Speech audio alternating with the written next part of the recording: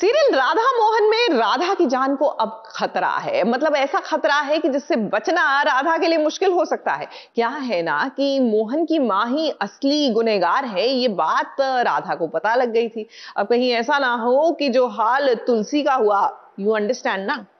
बल्कि कहना चाहिए जो काम तमाम तुलसी का हुआ, अब राधा का ना हो जाए।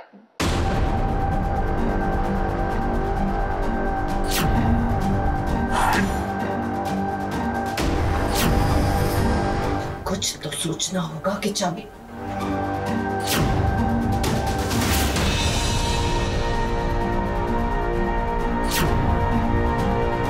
तुम उस आग से कैसे बची हमने तुम्हारे सर पर छत गिरते हुए देखी है।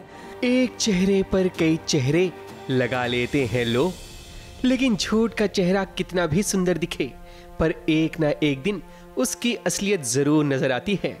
झूठ का अंधेरा कितना भी घना हो, लेकिन सच की एक रोशनी से वो हार जाता है। जैसे आज कादम्बरी का सच सामने आ चुका है, वो भी राधा के सामने। आप ही हमारी तुलसी जीजी की कातिल कौन है उनकी? हमारा छोड़कर हमारे साथ ऐसा मत करो राधा।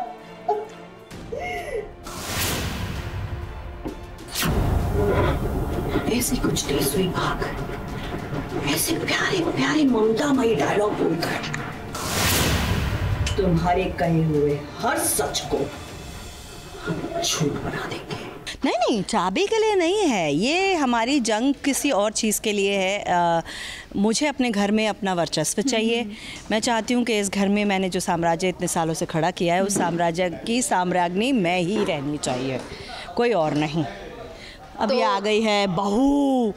तो ये ना चाहते हुए भी जो धीरे धीरे अपना अधिकार जताने लग रही है तो वो माँ जी को अंदर ही अंदर नहीं पसंद आ रही। बाहर से वो दिखा रही कि हाँ हाँ कोई प्रॉब्लम नहीं है।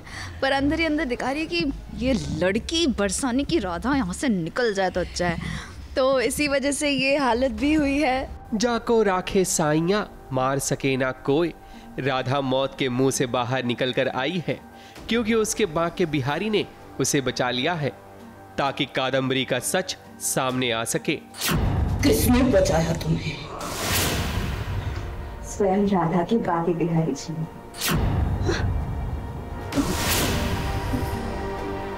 बाकी बिहारी जी?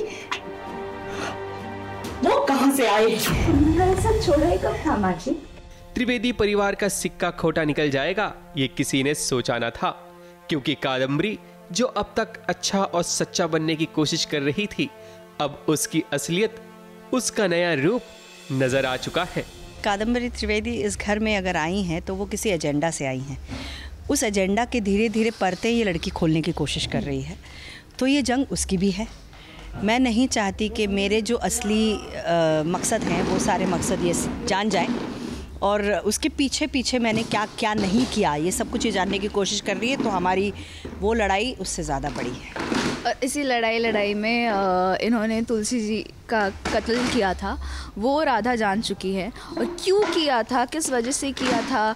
और मोहन जी से क्यों दिखावा करी कि वो बहुत प्यार करती है? सब कुछ राधा जानना चाहती है। तो बस ये माँ जी को पसंद नहीं आ रहा है कि इतनी जासूसी क्यों कर रही है। चुपचाप रहती तो ज़्यादा अच्छा था। अब ये खुद ही फंसेगी। लेकिन राधा है कि कादम्बरी की चाल को कामयाब नहीं होने देगी। वो कितना भी ड्रामा कर ले जैसे कि आज उसने कावेरी के साथ किया है, लेकिन हर ड्रामे का क्लाइमेक्स ज़रूर आता है, जहाँ हमेशा जीत सिर्फ़ सच्चाई की होती है।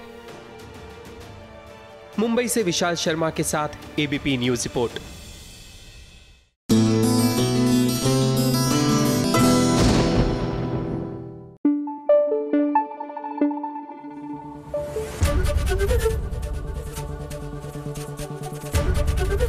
ABP News. आपको रखे आगे।